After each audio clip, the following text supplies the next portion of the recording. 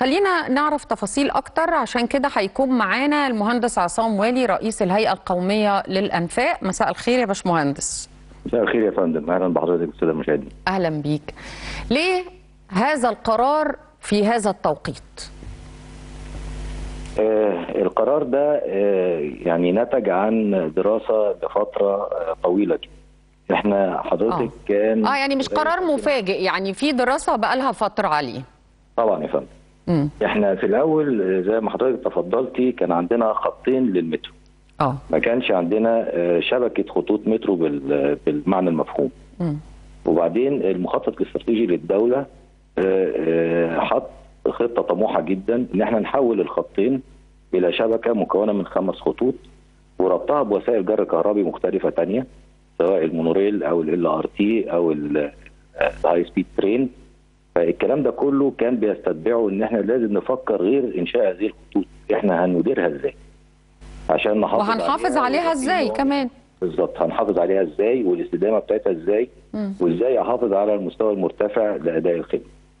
فوجدنا إن هيبقى غير منطقي إن إحنا نسند هذه الشبكة بالكامل إلى شركة الشركة الوطنية للإدارة والتشغيل شركة المترو.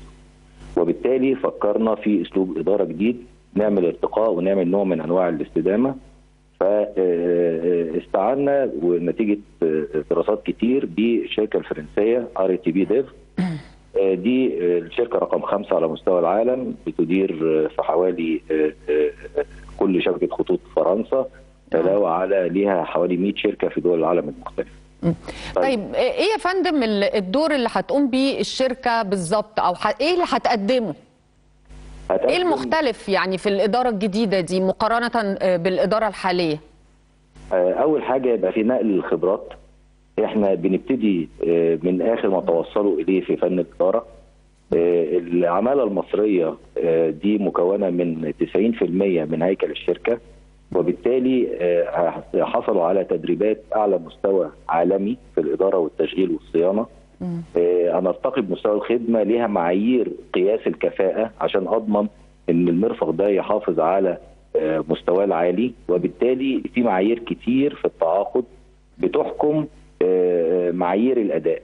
علاوة على إنها بيخلق نوع من أنواع التنافس مع الشركة المصرية وبالتالي. هيحصل نوع من أنواع الارتقاء في مستوى أداء الخدمة. طيب هل ده بقى هينعكس على آه، الخدمة بالنسبة للمواطن؟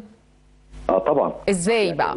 الخدمة نمرة واحد نظافة المحطات آه. الاستدامة بتاعتها آه، الخدمة المعداة لل- للراكب آه، سواء الراكب العادي أو آه، إخواتنا ذوي الاحتياجات الخاصة الصيانة في التوقيتات ال- المطلوبة قطع الغيار ال- الأصلية توقيتات التقاطر أو زمن التقاطر ما بين ال- ال- المترو والتاني بيتم الحفاظ عليها بدقة شديدة لأن لو حصل اختلاف فيها ده بيبقى نوع من أنواع بي- بيتعمل نوع من أنواع الحساب إن كل دي زي ما بقول لحضرتك معايير الجودة اللي إحنا ملتزمين بيها في التعاقد